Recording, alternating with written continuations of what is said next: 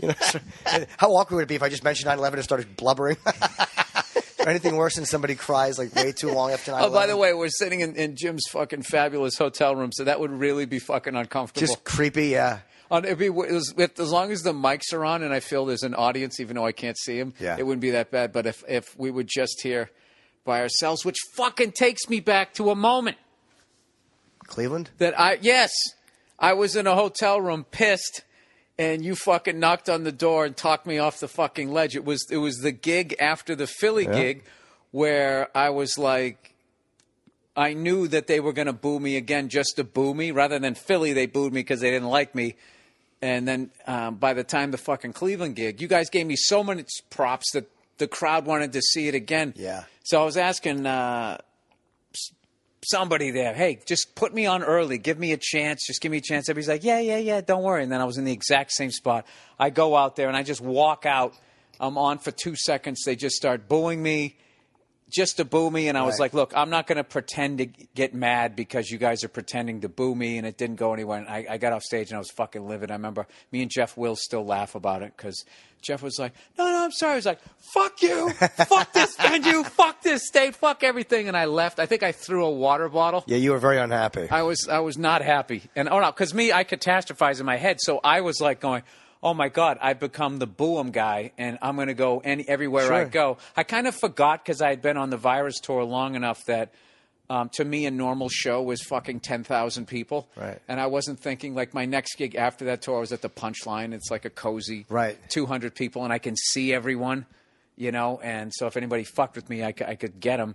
And uh, so, anyways, so I go back to the fucking hotel room, uh, ready to quit the business, and I hear a knock on the door, and you came walking in and f- fucking talked me off the ledge. I remember that. I don't even remember what we sp- we spoke about. I just remember you were very upset, and I knew why. And you were like, "They fucking," and I was like, "Dude, they did it because they were trying to recapture a moment that they wanted to be a part of something that was very amazing to them, as opposed to they hated you. You know what I mean? Oh, but no. I, I didn't. And I was convinced everyone was out to get me.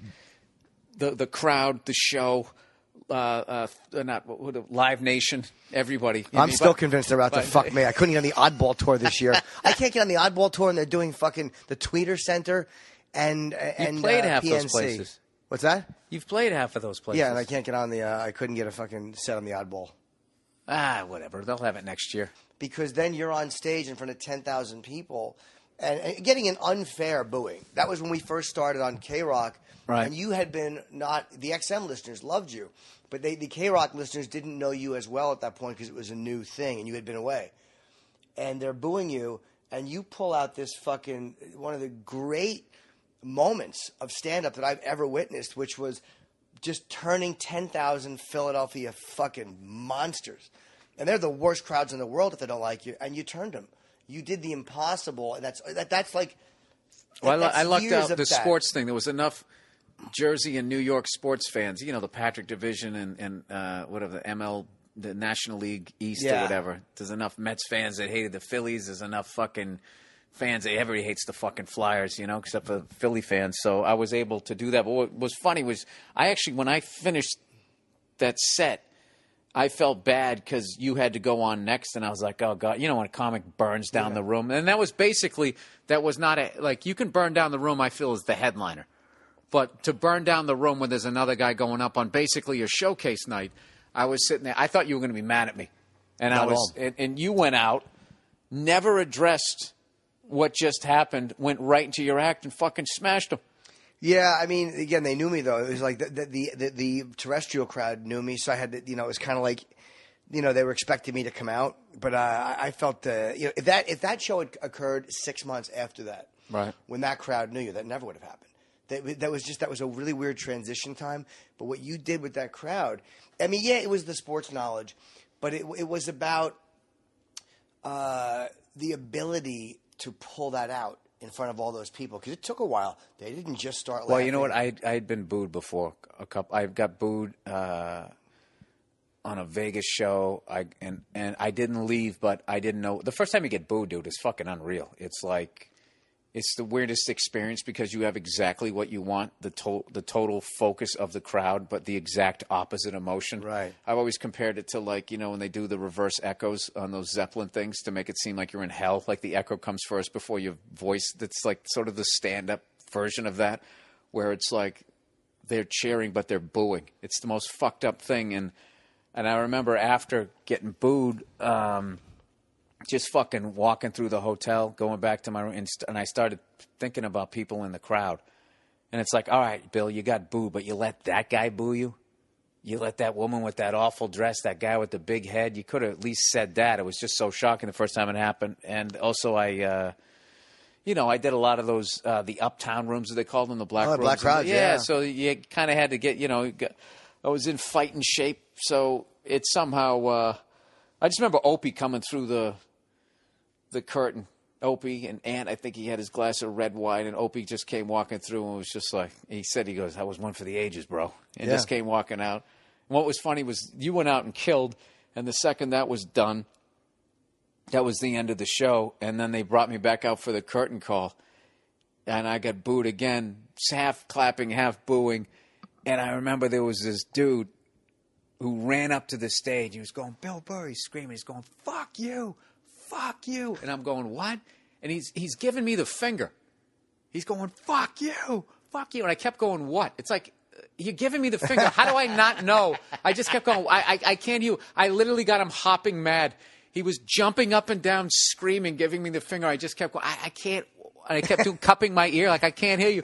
And the guy went, "Fuck you, fuck you," and it just I just laughed at him and. uh that was yeah, that was the end of it. And uh, I remember I, I I rode back with Bobby Kelly, and um, I had a fucking splitting headache after it. And uh, I just remember riding back with Bobby, and and he was just laughing, going, Dude, do you realize you just told 10,000 people to go fuck themselves? and I was dreading it because I was like, "Fuck!" I know somebody filmed that because I thought when it got on the internet, I knew comics would appreciate it, but I didn't know that I didn't know if fans would get it if they if they would just be like, "Oh, you got booed, you sucked." You know, fuck this guy, ha ha. Everybody laughing at you and shit, because you know can kind of go can kind of go either way. But uh, whatever. I, I we're here for you here. No, no, no, no, no. Jimmy. That that to me was uh, that was a fascinating thing to watch because it was legitimately funny stuff. It wasn't like you were obnoxious and got the crowd. Like you were really pounding them like a comic. Like that's what was so fun about it. If you had just taken your pants off and waved your cock at them, and uh, like all right, any idiot could. Well, you Still fucking hilarious though. But you, it would be, that would have been much better, obviously. But I mean, that would that, that was still, that would have been like instant legend. But the fact that you got them as a I, I comic, saw I saw a guy do that. did you? I'm not going to say because I don't want to get him in trouble. Sure. But I saw uh, when I was doing late nights at the cellar. Do you remember how they used to have that water pipe? They used to hang. Sure. Just and this guy used to go up. He's a fucking madman, and he used to fucking hang from that pipe by one arm, and he'd have this crazy look on his face. He looked like Charles Manson. I'm trying to let you know who this guy Yeah. was, right? So he went on stage and he's doing his fucking thing and like really just one of these great comics where like just the pain of whatever he went through is Yeah. right there on the surface so if anybody moves he's going to cut their head off so there was some woman who was all fucking dressed up or something sitting you know she's like in her 50s and she's not laughing. And he just keeps looking at her and he just finally just starts going like isn't that right mom? Huh? Mom? Mommy? And he got in her face and he finally just goes mom! and screamed in her face and she got like mad. And she goes uh, I, she started giving him shit and he said like lady if you don't he got to the point it's like lady if you don't shut up i'm going to take my dick out and slap you in the face with it. And she goes you don't have the balls and he goes oh i don't have the balls and he starts unzipping his pants. The crowd is going fucking nuts because they think he's joking. And he fucking pulled his dick out. Pulled his dick out. And he, he had it by the shaft, and just his fucking purple head is coming out, and he made these machine gun noises, went like right in her face, dude. Fucking place went ballistic, fucking ballistic, and he ended his set there. I hope so. Yeah. And Wanda, who was hosting at the time, up and coming, Wanda Sykes, I think she was the host, fucking outroed him and then brought me up. Was it Wanda? Wanda hosted one of the fucked up ones. I can't remember. So brings me up and I had to go on after him, and I was still new to New York, and I was I was already gonna bomb, and he took his dick out and shook it in this fucking woman's face, and dude, I can't even tell you how, how hard I ate it, and I was too green. I didn't know to be like just riff about the guy Yeah, how taking his dick, that dude. was. I went up and tried to do my act. I went up and I immediately went up and like, gee, it's been raining a lot here in New York City. It just it, it just completely flatlined. Yeah, So- it's like walking into a party and not acknowledging what's just been happening. Yeah, That it's- was awful. Yeah, yeah. I think I know who you mean, man. yeah, th- there you go. when if you watch the Philly rant, there's a time where I look over the, the DJ, going, "Dude, why are you yelling out shit? You're fucking me up." I vaguely remember doing that, but what it actually was was Patrice was trying to help me.